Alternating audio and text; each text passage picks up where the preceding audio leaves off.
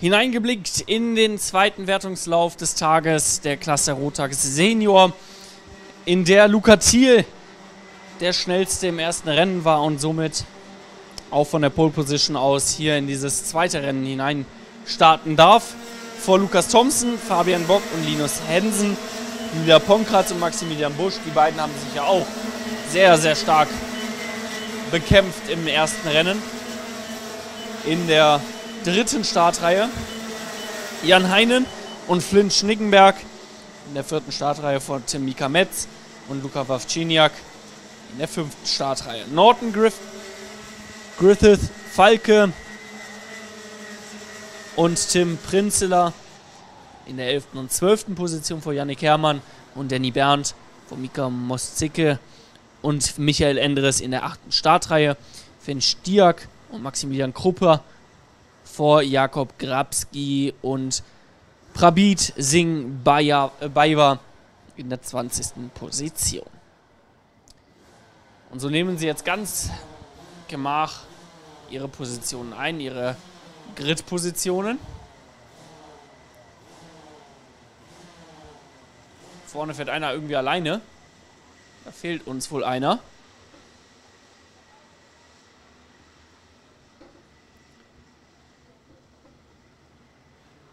Erste Startreihe gebildet durch Thiel und Thompson. So kommen sie jetzt hier bei Start und Ziel. Gleich vorbei. Auf geht die Reise. Start ist frei. Guter Start, den wir da gesehen haben. Eigentlich von allen. Keiner, der sich so wirklich durchsetzen konnte. Wieder sehr diszipliniert. Ich meine, es wird Thiel, der sich durchsetzen kann. 315 vor 318. Bock in der zweiten Position. Hensen mit der Attacke gegen Bock und er verliert natürlich dadurch jetzt direkt richtig Plätze. Muss er jetzt erstmal wieder zurückkommen. Da geht auch Julia Ponkratz wohl noch vorbei.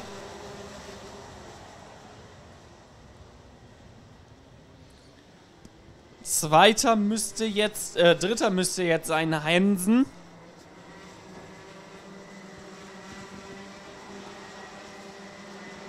Hensen als Drittplatzierter jetzt vor Julia Ponkratz und Fabian Bock. In der Reihenfolge müssten sie jetzt hier vorbeikommen. Genauso ist es. Heinen auf 6. Busch 7, Schnickenberg auf 8, Falke und Hermann, Hermann pardon,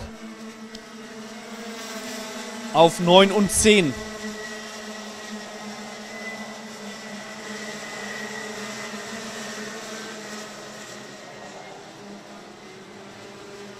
Ponkratz gegen Bock, da kommt jetzt die Attacke direkt.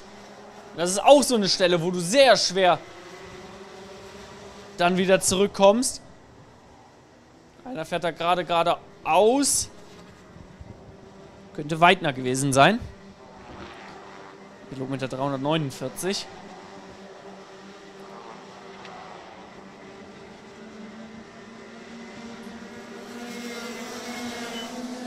Der Blick wieder an die Spitze. Da ist Thiel aber sowas von enteilt. 0,7 Sekunden. Mal sehen, ob man die überhaupt wieder zufahren kann. Thomsen und Hensen machen hier ihr eigenes Ding gerade. Kämpfen da gegeneinander. Dann kommt Bock, Ponkratz, Heinen und Schnickenberg. Tim Mika Metz mittlerweile an die 10. Position vorgefahren. Kam ja von 9, war dann zurückgefallen.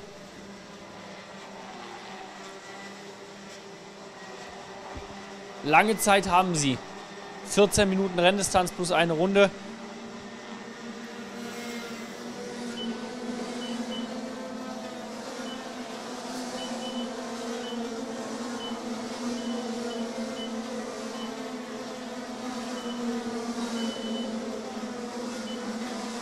Ponkratz, immer wieder der Blick nach hinten.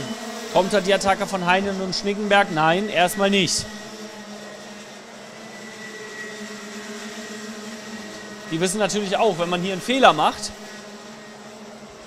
das Ganze sehr schnell bestraft.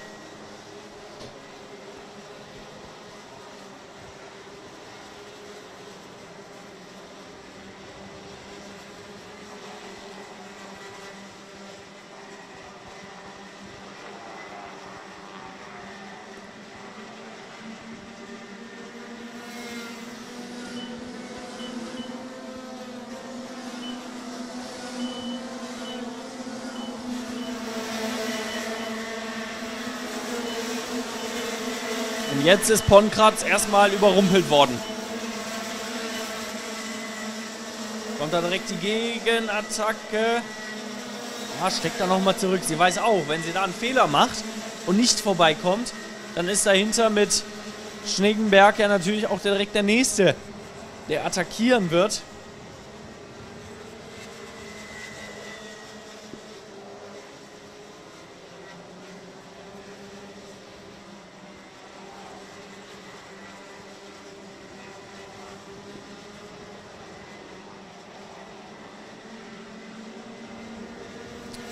Und immer wenn man sich diese Bilder ansieht,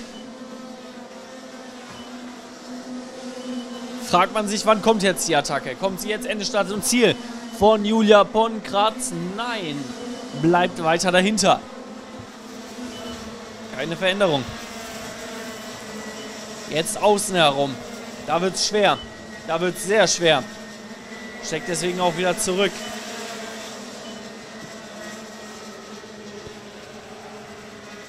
Aber es hat den Anschein, als könnte Ponkrat schneller. Und das ist auch jetzt der Fall. Ist vorbeigegangen.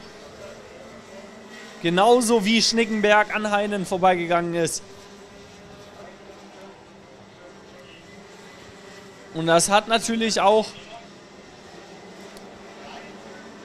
den dahinterfahrenden in die Karten gespielt. Busch, Metz, Krupper. Alle drei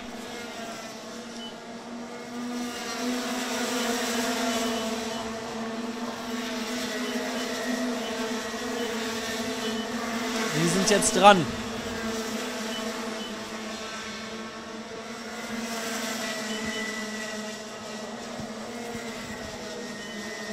Die nächste Attacke.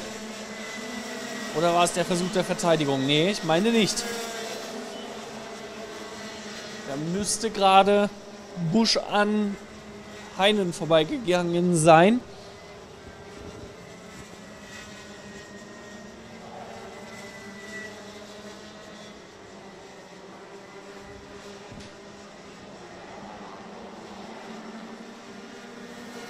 Das Ganze wieder sehr klassisch vorgetragen. Und Achtung, jetzt wird Heinen gleich direkt vom nächsten überrascht. Von Krupper.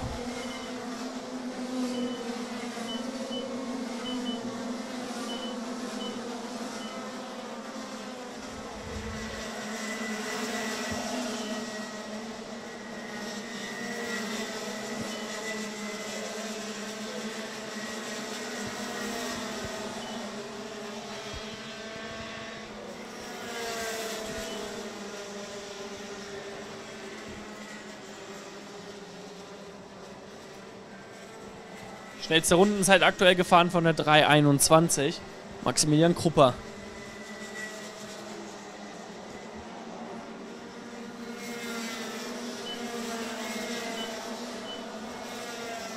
Hat ja auch viel aufzuholen. 18. Position nach dem ersten Lauf. Jetzt auf 9 vorgefahren, ist aber dran. An Heinen. An Busch, an, Schönen, äh, an Schnickenberg. Auch am Ponkratz. Eigentlich noch.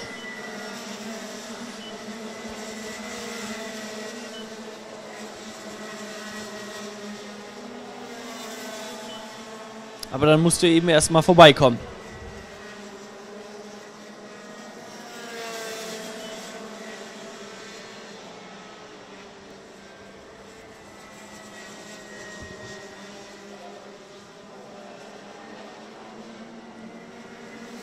Dass die alle kein Nasenbohrer sind. In der Seniorklasse, das wissen sie auch alle. Schnellster übrigens nicht National Pilot. Aktuell an der 15. Position mit Nitu. Vorkesic Auf Rang 15.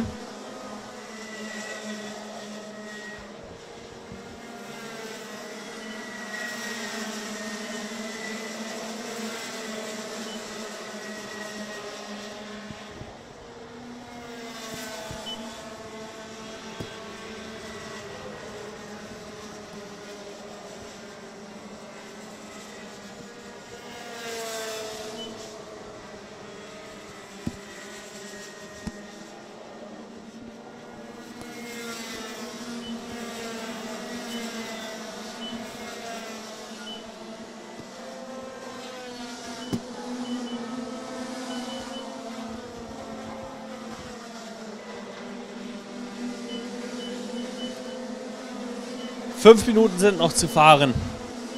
Fünf Minuten Zeit für Krupper sich nach vorne zu fahren.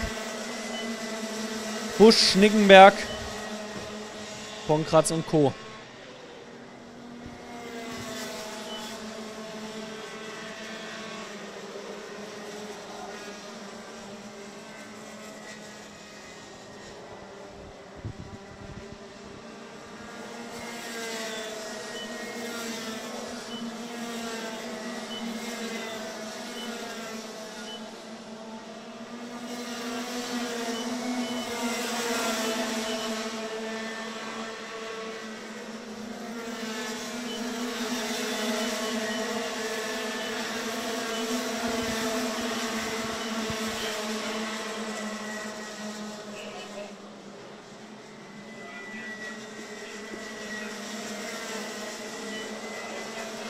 Hier im Bild haben wir den Kampf zwischen Timmy Kametz und Jan Heiden. Rang 9 ist da die Position, um die es dort geht.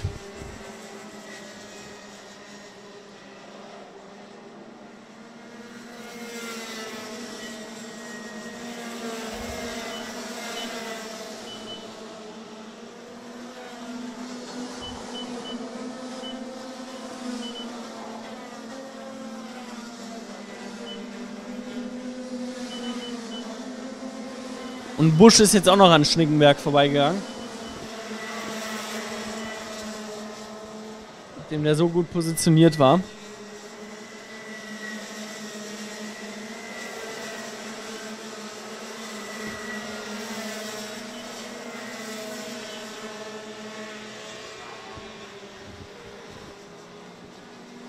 können ja nochmal auf den Terminkalender blicken in diesem Jahr. Wittgenborn, 4. Oktober das nächste Rennen, das geplant ist. Und zum Schluss in Oppenroth, Stefan Belloff Arena, 15. November.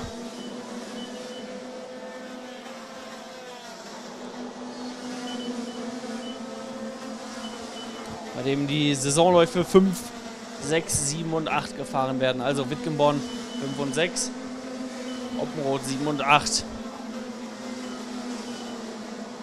Mitte November also das Saisonfinale hoffentlich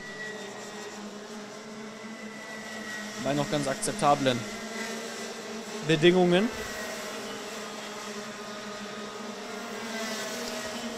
Ziel ist vorneweg, drei Sekunden in etwa.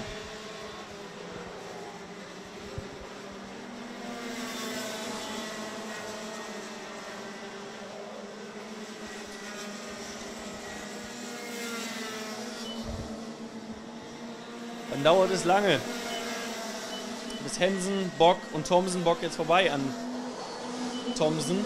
Ponkratz, Busch, Schnickenberg, Krupper, Metz und Heinen.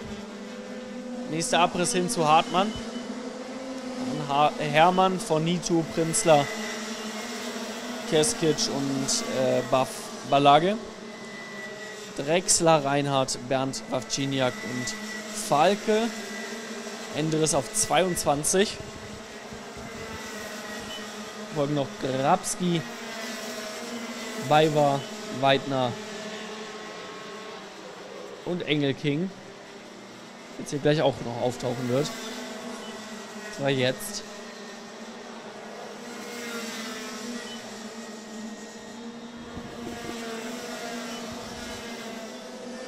Während wir jetzt in die letzten zwei, drei Runden gehen. Wir werden noch eine weitere Runde haben. Da die Uhr dann noch nicht abgelaufen sein wird.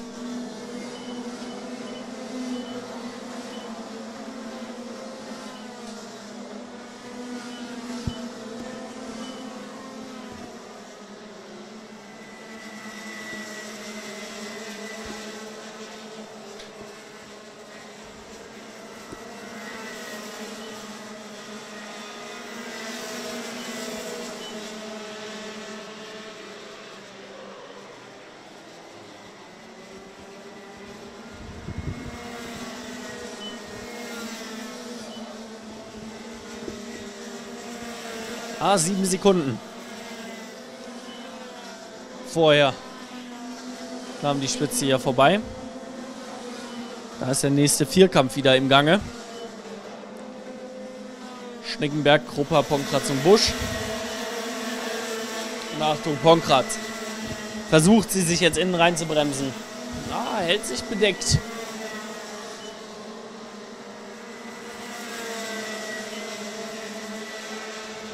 Lässt Bush da seinen Raum.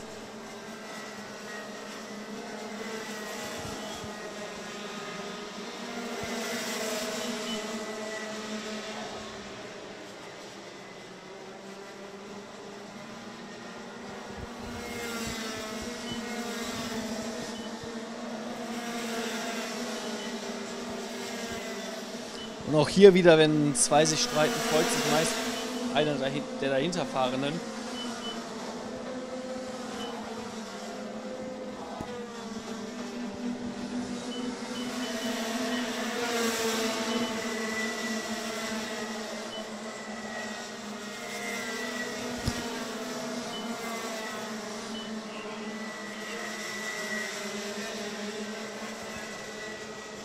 Das ist die letzte Runde, das ist die letzte Runde für Thiel der jetzt hier dem Zielstrich entgegenfährt. Das wird er jetzt gleich machen. Kommt bei Start und Ziel jetzt aufgetaucht und darf sich zum zweiten Mal an diesem Wochenende zum siegreichen Piloten küren lassen und gratulieren lassen. Darf sich aber auch Block und Thompson in der zweiten und dritten Position. Vierter Busch, Ponkratz 5, Krupper 6, Schnickenberg vom Metz, Heinen und Hartmann. Das ist die Top 10 der Senioren. Der kurze Blick auf den Zeitplan sagt uns, es folgt die DD2.